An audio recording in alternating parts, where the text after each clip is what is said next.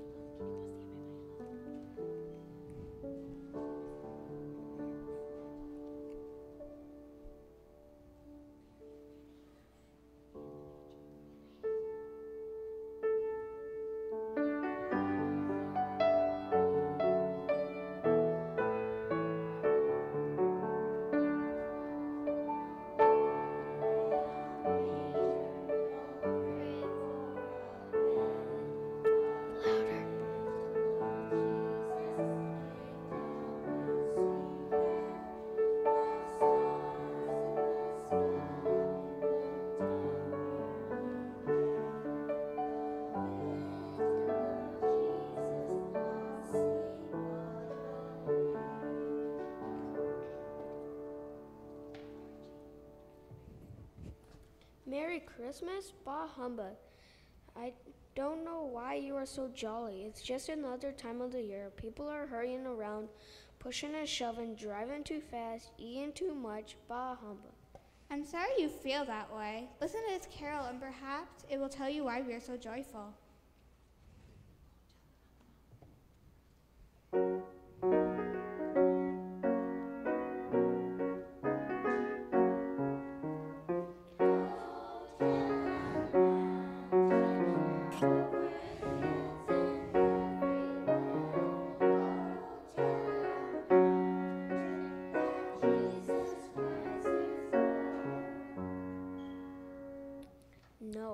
Still don't see it.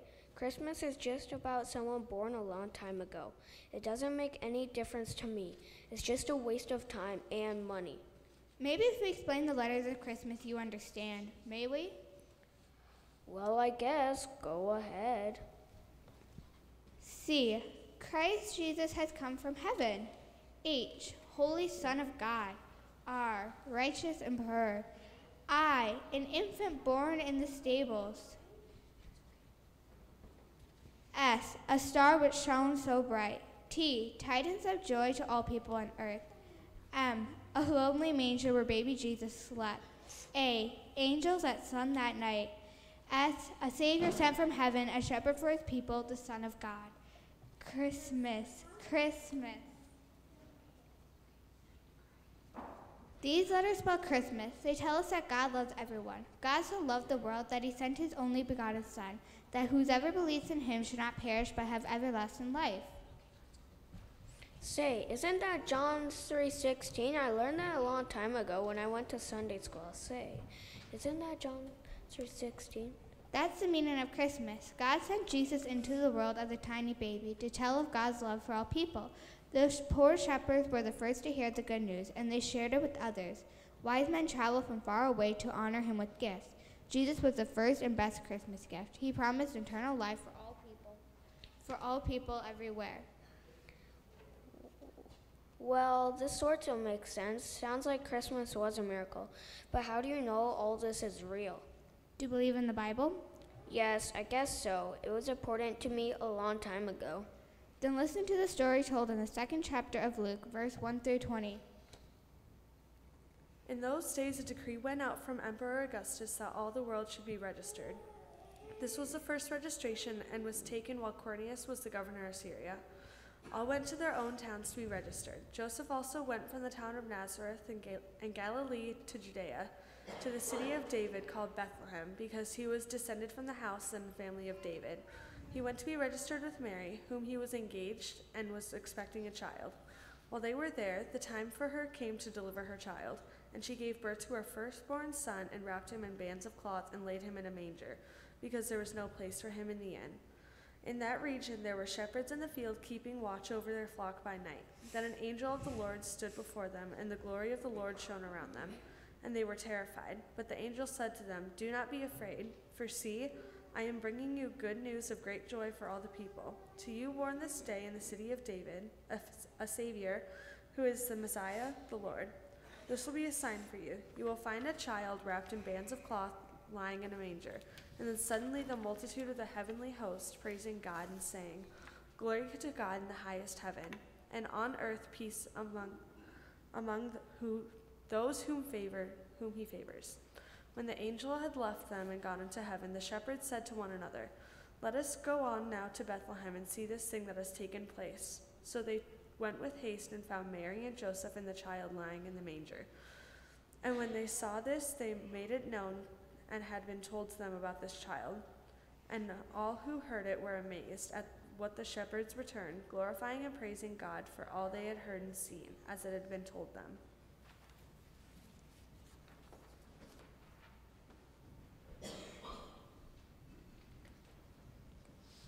Say, have I been dreaming? It's almost like I was there in Bethlehem. The birth of Jesus did happen, didn't it? Yes, over 2,000 years ago in Bethlehem. Yes, I do believe. I believe in the miracle. Jesus came for earth to me. Thanks for helping me believe. Why don't we shout the good news to everyone? What's that song about telling everyone? Go tell it on the mountain? Yes, that's it. Let me sing it with you.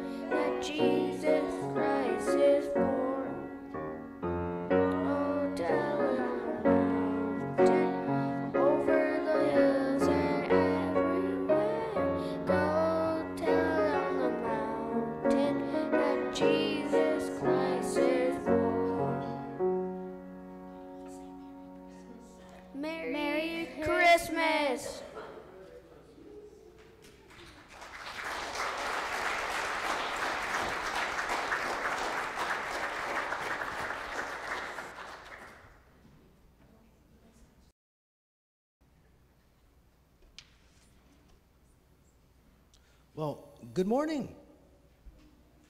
How are you guys doing this morning? Good. Did you guys do a great job doing the Christmas program? Did they do a great job doing the Christmas program?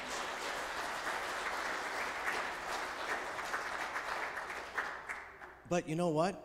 I have a problem today because in my orange backpack, what I want to talk about can't fit into it. Who do you think I'm going to talk about in my orange backpack? Well, Tootsie Rolls are in there. They got it.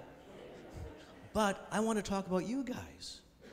Because sometimes you think that you have to be a grown up to talk about Jesus and tell people about how special he is. But did you guys just do it? Yeah, you did with all these people. Isn't that great? Isn't that great? Yeah. So, oh, I got another problem today too. Because usually at the end, I hand out, what do I hand out at the end? Tootsie Rolls. But I didn't give the children's message. You guys did. So guess who's going to hand out the Tootsie Rolls? Us guys. Yeah, you guys. So let me go get my pack. Do you want to volunteer to do it? Okay, thanks for volunteering right there.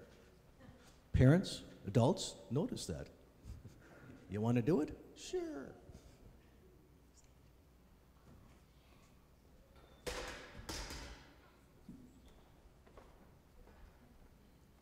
Watch out, there's stuff up here.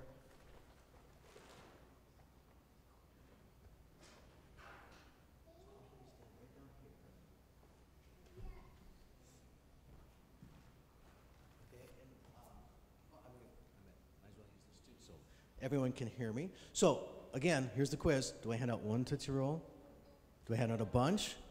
Why do we hand out a bunch? Because Jesus loves overflows from us. Okay, can you, it's kind of heavy. Can you, you want to hang on to it? You want me to hold it? Oh, yeah. Oh. Okay, so when you get your Tootsie Rolls, just say your first name. Okay? Now, there's only about a thousand here, so kind of take it easy, okay? So, can I, um, Margie, can I have you hold the bag, and I'll hold the microphone, and we'll just kind of go down this way. So, what's your first name, Josie? You're not Josie. No wonder you get messed up. Maggie, Just keep going down. What's your first name? Shia, Very good, Shia. What's your first name? Lydia,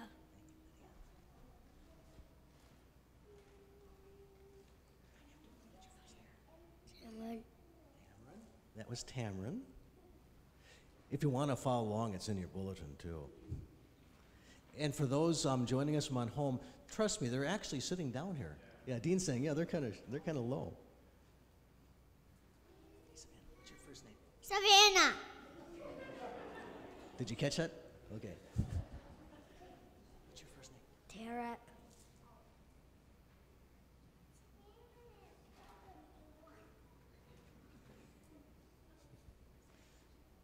don't forget Margie with Tootsie Rolls. Milo, what's your first name? Milo, What's your first name? and Chase.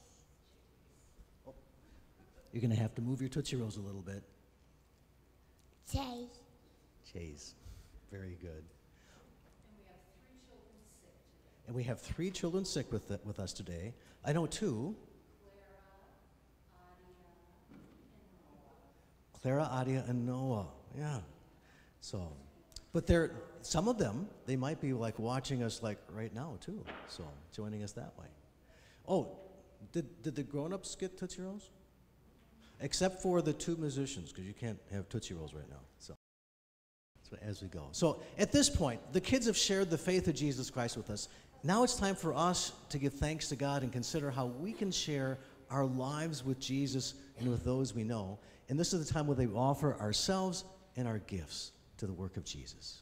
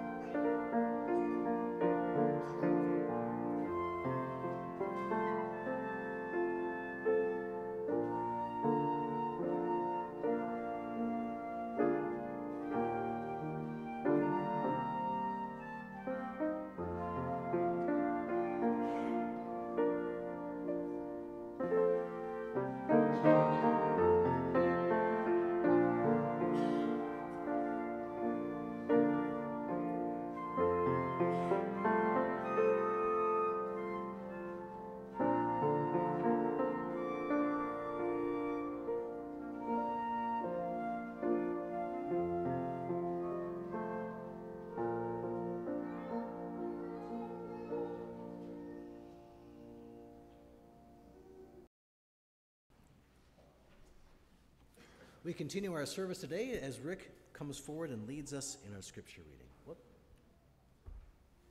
Lots of stuff moved around this morning. Good morning. My name is Rick Ormsey. I'm uh, your scripture reading for this morning. Uh, please uh, join with me in the prayer for illumination. Lord, open our hearts and minds by the power of your Holy Spirit, that as the scriptures are read and your word proclaimed, we may hear with joy what you say to us today. Amen. The reading is from the Gospel of Matthew, chapter 11, verses 2 to 11. Now, when Jesus heard in prison about these things Jesus was doing, but now when John was uh, heard, in, heard in prison uh, about the things Jesus was doing, he sent word to his disciples, uh, asking his disciples, he sent word by his disciples to Jesus, asking, Are you the one who is to come, or should we look for another? Jesus responded, Go report to John what you hear and see. Those who were blind are able to see, those who were crippled are walking, people with skin diseases are cleansed, those who were deaf now hear, those who were dead are raised up. The poor have good news proclaimed to them. Happy are those who don't stumble and fall because of me. When John's disciples were gone, Jesus spoke to the crowds about John. What did you go out in the wilderness to see? A stalk blowing in the wind? What did you go out to see? A man dressed up in refined clothes? Look, those who wear refined clothes are in royal palaces. What did you go out to see? A prophet? Yes, I tell you, and more than a prophet. He is the one of whom it is written, Look, I'm sending my messenger before you, who will prepare your way before you. I assure you that no one has ever been born, is, no one that has ever been born is greater than John the Baptist. Yet whoever is least in the kingdom of heaven is greater than he. This is the word of the Lord. Thanks be to God.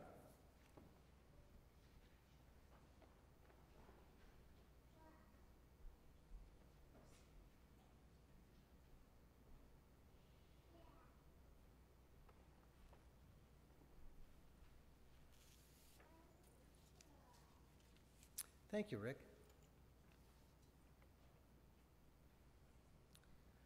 Are you the one who is to come, or should we look for another? Jesus responded, Go, report to John what you hear and see. Our children have just shared with Jesus with us. Did they do a good job? Yeah, they did. But you know what? Each week, every week, our call, your and my call, our commission is to share the good news of Jesus with others. Sometimes we forget that.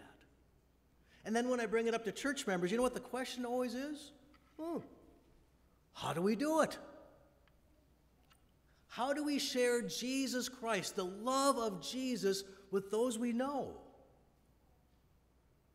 You know, it's just not a hypothetical question. And in just a few minutes, we're going to be asking Jolene and Mary and Josh and Carol and Connie and Jacob and Jeremy if they promise to be witnesses of Jesus Christ. You know where that question is, right? We've all answered it. Remember, when they join the church, I'm going to ask if they're going to support the ministry of Pine Island United Methodist Church by their prayers, their presence, their gifts, their service, and their witness. The witness part. Well, we share Jesus Christ with our family, with our friends, with our neighbors. We do it by sharing our story. Our story of how Jesus has made a difference in our lives. We do this by being witnesses to others of, of what we have seen, of what we have heard as we follow Jesus. Each one of us here has our story to tell, youngest to oldest. Now, here's the part that scares people, scares church members, because we go, oh, the job is so big. But here's the secret when we share the love of Jesus, we don't have to convince the other person that Jesus is the Messiah. That's not our job. We don't have to convince the other person that, that Jesus is the Son of God. We don't have to convince them that Jesus will change their lives. You know why?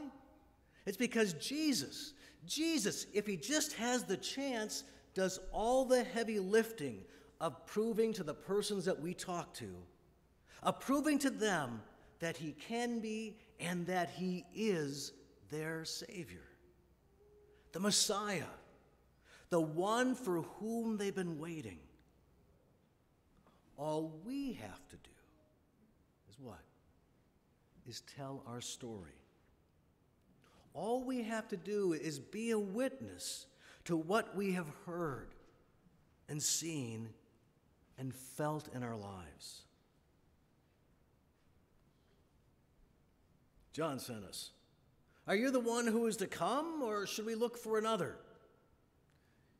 Jesus responded, Go, report to John what you hear and see. Those who were blind are able to see, those who were crippled are now walking. People with skin diseases are cleansed, those who were deaf now hear. Those who were dead are raised up. The poor have good news brought to them. So it is up to us to tell our family, our friends, our neighbors how Jesus has changed our lives. And it doesn't stop there because you and I, we need to be at work transforming the world so that people can see Jesus at work in what we do. Remember Jesus talking to John's disciples? He didn't have to convince you. He just says, go report what you see. If we're doing the right stuff, when we talk to people, we we need to do is Say, hey, report what you see. Here's a quiz. Here. Are we feeding the hungry? I should have a new member class for everybody here. You know, I'm just saying that. Hey, are we feeding the hungry? Give one or two examples this week. Food shelf. Yeah, we're going to hear about that later. We even got a picture of it. Okay? Food shelf. Before and it started and now. Not now, Barb, it's coming later. Have to stay to the end of the service. Yeah, Love Project. We're feeding the hungry with the Love Project. Are we praying for those and caring for those who come to us asking for help? Yeah, we talked about it last week. Do they need to be members of our congregation for us to pray for them? Do they have to walk into our building before? No. First time they walk in, we do it. Are we providing clothing for school children and infants? Any examples? Undies, yeah. Holiday helpers working with the school. Baby closet. So, are we feeding the hungry, praying for and caring for those who come to us, providing clothing to people? Are we? Yes. And not only that, our church is being renewed and revived. We are reaching new people. We are making new disciples of Jesus Christ who will in turn continue to transform the world. So go, not yet, but go. Share the story with your family and your friends and your neighbors of how Jesus is alive, of how Jesus is active in your life. Go and report to them what you hear and see. Something to celebrate? Say yes. Yes. Oh, there's another celebration. We have new people joining the church this morning. So I want to invite our um, new um, people joining the church to come forward. Connie Carol, Jacob. I'm trying to think who else is with us this J- Josh is there. Oh, I don't have my microphone. I'm going to stay here. I'm going to have you guys just line up there, okay?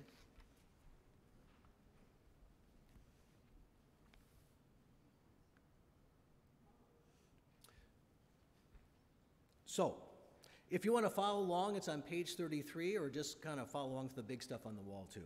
So, friends, brothers and sisters in Christ, through the sacrament of baptism, we are initiated into Christ's holy church. We are incorporated into God's mighty acts of salvation and given new birth through water and the Spirit.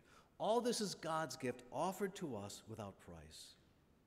And then through confirmation and through the reaffirmation of our faith, we renew the covenant declared at our baptism, acknowledge what God is doing for us, and affirm our commitment to Christ's holy church. And it's my honor this morning to present to you some candidates to join our church today. So I'm going to kind of start on this side. So, Connie will be joining us today. Um, Connie joins by profession of faith. So she's going to profess her faith in Jesus Christ in front of a crowd for us this morning. Her husband Jacob is joining. Jacob is joining by transfer from Lands Lutheran. Um, Carol is joining also by transfer from Lands Lutheran. Um, don't ask them if they know each other, they're all related. Josh is joining as coming into the church um, from no other church, so he's joining the church fresh, okay? But he has confessed his faith in Jesus earlier. Um, also, we, we're missing a couple people. Um, Jeremy Ryan um, just told me this morning that he's sick and can't make it. Jeremy will be joining the church. And is Jeremy online? Okay, Jeremy's with us. Um, so you're looking back. Who, there's a crowd of people in back? There are a crowd of people back there. Um, but Jeremy will be joining, um, coming into a church for the first time, or into this church from not a transfer.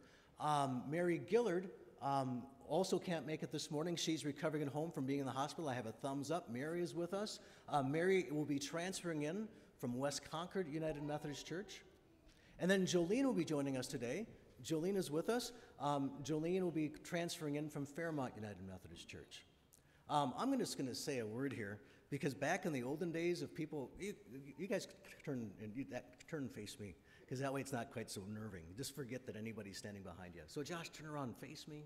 Um, let Carol know to come around. That way, it doesn't seem like you're you're just you're just sitting in the front pew at this point. Um, but back in the olden days, you know, people would say, "Oh, Pastor, I'm sick. I can't make it to church," or "Hey, Pastor, I can't make it because I'm someplace between Florida and Minnesota on the road." Okay, do we live in the olden days anymore? No, they're with us watching online. I'm hoping Jolene is, is safe on the side of the road rather than driving at 80 miles an hour. But, but anyway, all those people, these are our candidates that are be joining our church. Now, as I mentioned, um, Connie, I knew it wasn't Carol. Uh, Connie is going to be joining by um, confession of faith. So, Connie, I have some special questions to ask you. All of you have, asked, have been asked these questions before, though, but I want to ask these of you. Connie, on behalf of the whole church, I ask you do you renounce the spiritual forces of wickedness, reject the evil powers of this world, and repent of your sin? Do you accept the freedom and power God gives you to resist evil, injustice, and oppression in whatever forms they present themselves? Do you confess Jesus Christ as your Savior? Put your whole trust in His grace and promise to serve Him as your Lord in union with the church, which Christ has opened to people of all ages, nations, and races? And according to the grace given to you, will you remain a faithful member of Christ's holy church and serve as Christ's representative in the world? Well, very good. Um, I think the next slide is going to come up. So I'm going to ask the same question of all of you. Do you, as Christ's body of the church, reaffirm both the rejection of sin and your commitment to Christ? And will you nurture one another in the Christian faith and life and include these persons now before you in your care? With God's help, we will proclaim the good news and live according to the example of Christ. We will surround these persons with a community of love and forgiveness, that they may grow in their trust of God. We will pray for them, that they might be true disciples who walk in the way that leads to life. Okay. And as we move ahead, I want you to remember do you remember, you don't remember your baptism, but you remember that you are baptized? So remember your baptism and be thankful. And all of you, remember your baptisms and be thankful. That was quick and easy, wasn't it? Oh, it gets better. So now, everyone here is a part of the Church of God, the great big universal church. Um, but we have some people that are coming into the United Methodist Church for the first time. And there's another slide. I don't think, I don't remember what for slides up there. Yep, there we go. So, as a member of Christ Universal Church, Will you be loyal to Christ in the United Methodist Church and do all in your power to strengthen its ministries? Okay, we got four I wills up here, and there's a delay because it takes a while to go around the world. Do we have thumbs up for, um, let's see, Jeremy would be a, a, a yes on this one. There it goes. Okay. And again, that's that's just the time delay. It's not that Jeremy was thinking about it, okay? And it's going to come again in just a minute. Okay, so now all of you are part of the United Methodist Church. Woohoo! Okay, you're crazy a Methodist. Okay, now every all the ministry takes place in our local congregation. Okay, so we're going to pull up the next slide. Okay. Oh, maybe not. Let me let me flip back here to the right question. Okay. So this is for everyone, you four and everyone and those joining us online. As a member of this congregation, Will you faithfully participate in its ministries by your prayers, your presence, your gifts, your service, and your witness? I will. I will. We have four up here. And again, it'll take a second for the other three to come up. Thumb, thumb, thumb. They must have been pretty ready for that one. So, at this point, I want you four to turn around. And I want to introduce to you the newest members of our congregation. Let's welcome them.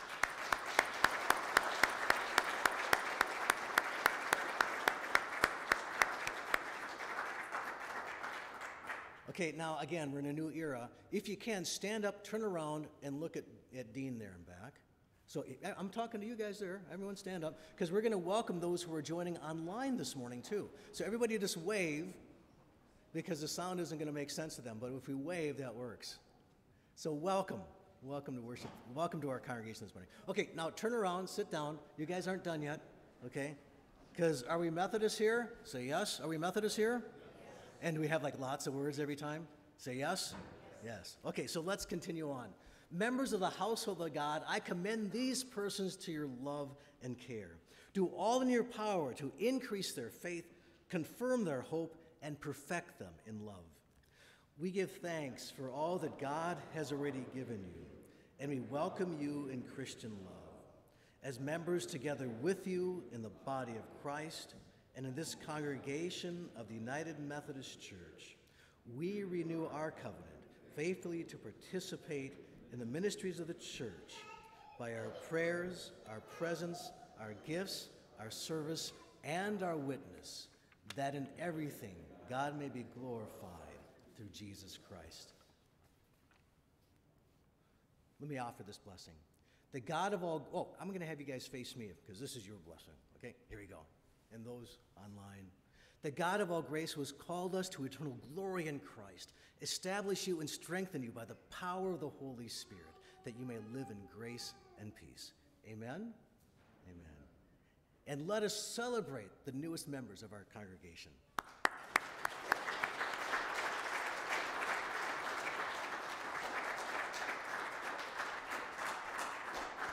Oh, but wait, there's lovely parting gifts.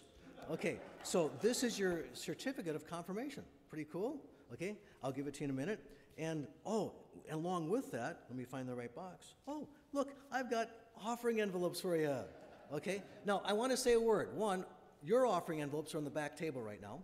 The other thing is, um, we had one of our members um, before the first time this person came to church, talked to me the week before and said, I don't know if, you know, about church, do I have to pay money to come in? Okay, like a, like a movie theater or something? What do you think I said? No, you don't have to pay an entrance fee to come. You know, this is our gift to you, is, is offering Jesus Christ, okay? Now, I didn't tell this person that there's a hook, because, like, if you get convicted about Jesus and join the church, you might want to support the church. Okay, so there's no membership fee for anybody here, but if you believe in what we're doing, well, you might want to do something to support the ministry so the ministry continues.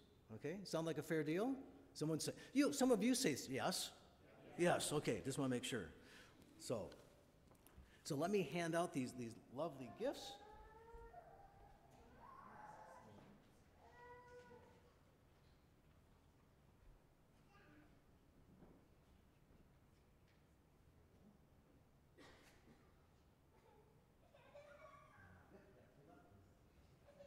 Let's welcome them as they, as they return to the pew.